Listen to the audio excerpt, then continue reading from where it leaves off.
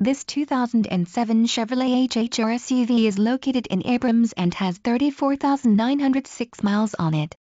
This SUV has a beautiful Silverstone metallic exterior paint color which is complemented by a interior color. This vehicle features front-wheel drive, tires, front performance, tires, rear performance, aluminum wheels, power steering, and many other features. For more information on this great SUV please click the link to the right.